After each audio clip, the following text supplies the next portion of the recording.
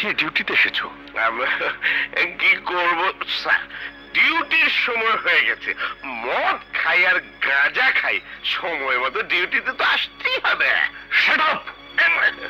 এরপর আর কোনোদিন যদি দেখি যে মদ খেয়ে ডিউটিতে এসেছ সাসপেন্ড করে দেবো। দেন স্যার দেন। আজকে দেন। শুধু সাসপেন্ড কেন? চাকরি থেকে একেবারে বরখাস্ত করে দেন। যতদিন খেতে না পারব আমি মদ খাওয়া ছাড়তে পারব না। তোমার এত বড় সাহস? আমার সামনে খাওয়ার কথা বলছো? কেন স্যার? আমি তো সত্য কথা বলছি। সব মানুষের সত্য কথা বলার অধিকার আছে। পুলিশে থাকবে না কেন স্যার? আপনি আমাকে সাসপেন্ড করে দিন স্যার। আমাকে সাসপেন্ড করে দিন। তবু তো উনি শান্তনা থাকবে। চাকরি নাই। আজ মাসের কত তারিখ জানেন, স্যার? বাইশ তারিখ। ঘরে চাল শেষ থাকবে কি করে? আমার মতো একটা পুলিশকে সরকার? কত টাকা বেতন দেয়? ঘরে বাবা, মা, ভাই, বোন আছে। বউ বাচ্চা আছে। বন্ধ হলে কি করে চলবে এত বড় সংসার? তাতে স্যার, আপনি আপনি আমার চাকরি নট করে দেন। আমি সন্ত্রাসী হয়ে যাব। লক্ষ লক্ষ টাকা কামাবো। সবাই আমাকে দেখে ভয় পাবে। আপনি আমার চাকরি নট করে দেন আমার চাকরি নট করে দিন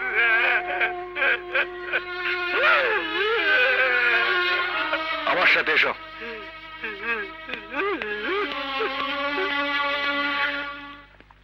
মাসুদ এই নে এক হাজার টাকা। নাও। নাও, আহা, রাখো। ডিউটি শেষ করে বাসায় ফেরার সময় চাল ডাল কিনে নেবে, ঠিক আছে?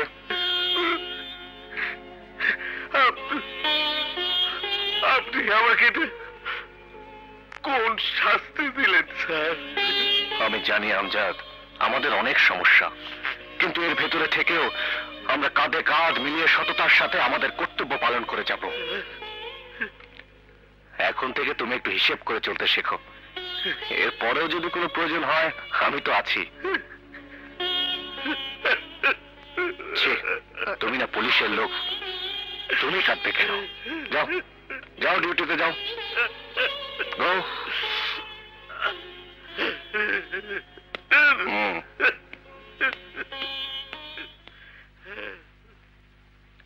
মাসুদ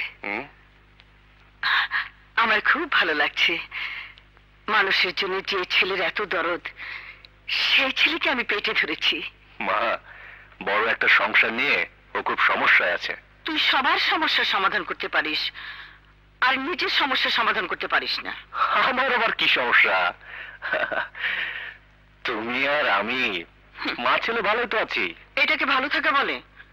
ঘরে বৌমানি নাতি পুতিনি এই বয়সে এসব না থাকলে কি ভালো লাগে? এই তোকে না সেদিন বললাম তুই গিয়ে মেয়েটার সাথে কথা বল। গিয়েছিলি? বলতে চেয়েছিলাম মা।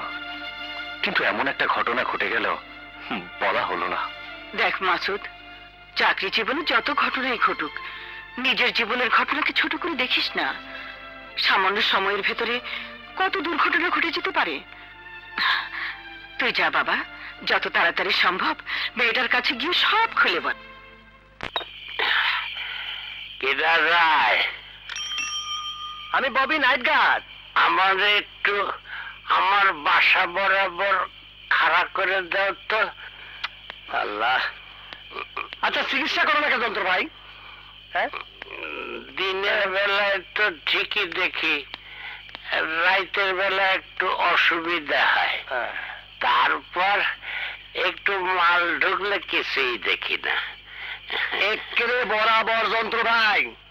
ডানে বামে কোনো দিকে তাকাবা না। বুঝছ? একদম ঠিক আছে। তুমি এখন যাও। তোমার আবার ডিউটিতে দেরি হয়ে যাচ্ছে। ডান্ডি কাঠটা ঠিক মতো নিছ তো? হ্যাঁ সব দিছি কোনো অসুবিধা নাই।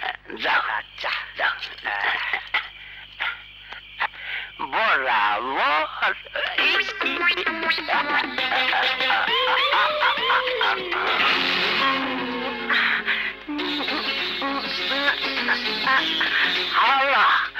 আমার বউয়ের আবার কিল এমন করে হাতে কেন বুঝছি সবাই জানে আমি রাখতে না বোর্ড নিশ্চয়ই আমার ধরে ঘরে নেবার আসতেছে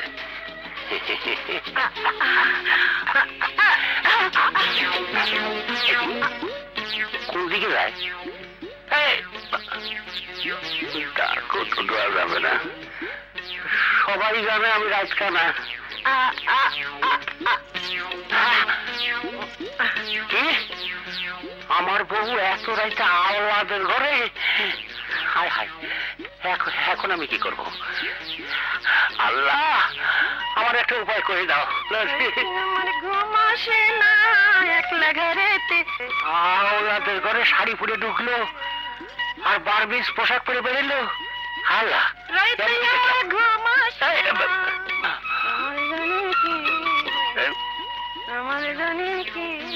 আমার ইজ্জত প্রেস্টিজ সব শেষ। ঘরের বউ যদি পরের পুরুষ মানুষের তাকে ডাকি আল্লাহ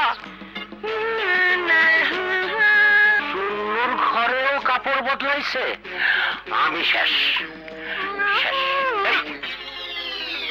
কে কে আমার হাত ধরিল আমি ধরছি তুমি দেখবার পারতেছ না কি করে দেখব বলো রাতকানা রোগ না খুব ছোঁয়াছে তোমার পাশে থেকে থেকে আমি রাতকানা হয়ে গেছি। তুমি রাজকা না তাহলে ঘর থেকে বেরিয়েছিলে কেন? আমি তো তোমার ওখানে যাচ্ছিলাম। ভাবলাম দুজনে হাত ধরাধরি করে ঘরে ফিরবো। হাত ধরা ধরি করে ঘরে ফেলব আমার ওখানে যাইতেছিল?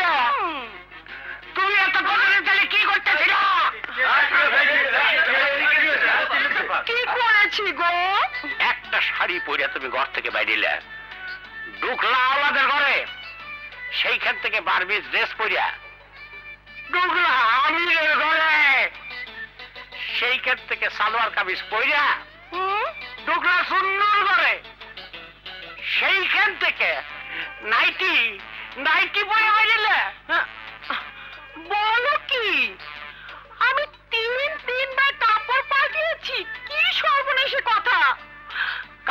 কাপড় বদলানোতে তো কোনো সর্বনাশ নাই। কিন্তু পুরুষ বদলানো তো সর্বনাশ। ছি ছি ছি। অমন কথা মুখে আনতে তোমার বাঁধলো না? আমি নিজের চোখে দেখলাম। তুমি তাহলে রাত কেন নও? দেখতেও পাও। আর লজ্জা দিও না। সত্যি করে বলো ওর সাথে তুমি কি করছ? যাই করি।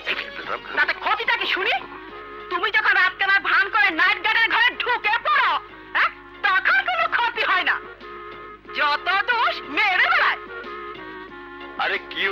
হয়েছে যন্ত্রালি আমাগো স্বামী স্ত্রীর ব্যাপারে তোমরা কোনো নাক গলাইতে আসবা না। এইটা কিন্তু তোমাকে স্বামী স্ত্রীর ব্যাপার না যন্ত্রালি এইটা মহল্লার একটা নাটক। নাটক? হ্যাঁ ভাবির সঙ্গে যুক্তি করে আমরা এই নাটক তৈরি করেছি। অনেক আগে থেকে আমাদের সন্দেহ হয়েছিল তুমি রাতকানা নও। দেখো ঘরের বউ নিয়ে এমন নাটক করা ভালো না। করব না।